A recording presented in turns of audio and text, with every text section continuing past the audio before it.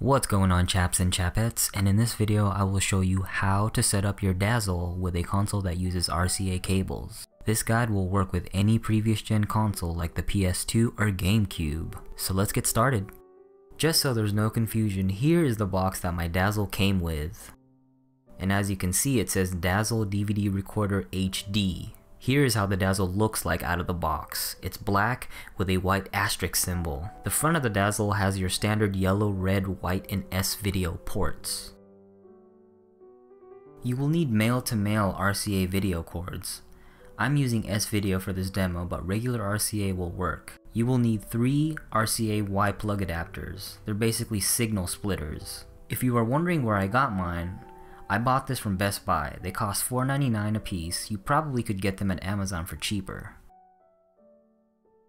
Simply plug your RCA splitters in the yellow, red, and white ports of your Dazzle after you plug in all three splitters, your Dazzle should look like this. Now from the console, you will plug the yellow, red, and white cords in each of your Y splitters. It doesn't matter which one of the two you plug it into, just make sure you plug into the right color for each port. If you purchased RCA cables with S-Video, before plugging it in, be mindful of the square peg in the connector.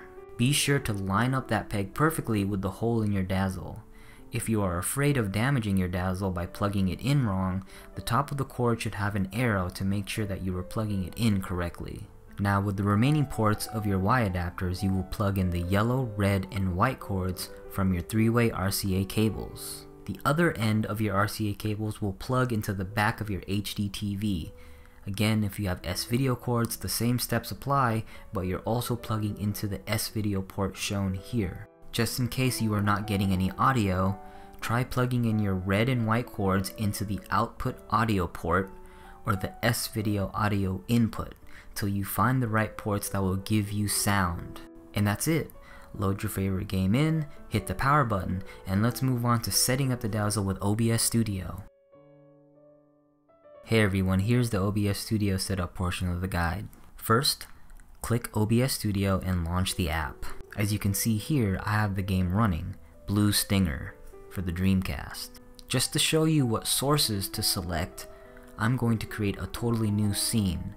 To do that, click on the plus symbol on the bottom left, and type in a name for your scene. I'll call this scene Test.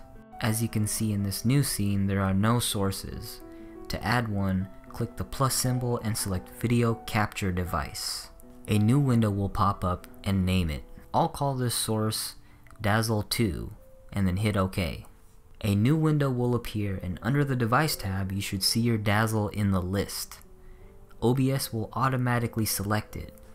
If you are not seeing a signal, you can click deactivate and reactivate. This usually resolves signal issues. Click OK to finish setting up your Dazzle. Next, we will create another source. Choose Audio Input Capture.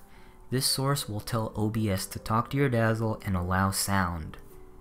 Just like all sources, you will give it a name. Be sure to select your Dazzle in the device panel and then click OK. The video signal isn't showing here because I have a source running already, but if you follow these steps, and you should be fine. And that's it, it's that simple. Hopefully this guide will help you set up your new Dazzle with OBS, so you can record all your games and share it with the world.